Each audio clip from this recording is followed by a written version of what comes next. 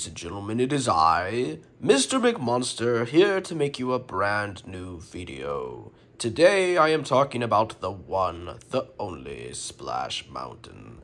And of course, its, its, its historical impact it's made on many, many people. Ladies and gentlemen, of course, Splash Mountain at Magic Kingdom was closed in January 2023. This is very, very sad news but unfortunately, there is nothing we can do about it. Splash Mountain was such an iconic ride, and everybody loved this attraction.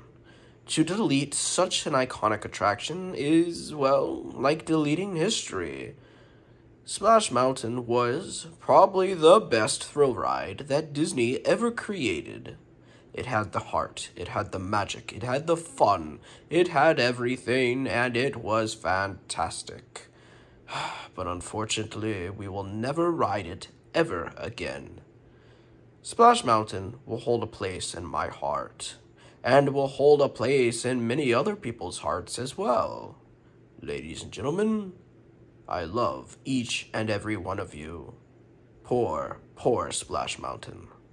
This iconic attraction deserved so much more, but the woke weirdos have destroyed it once and for all. what this ride could be, I can't say, because now it's destroyed.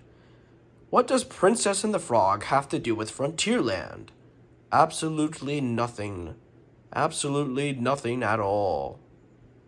How do you guys feel about the closing of Splash Mountain? Let me know down below in the comments section.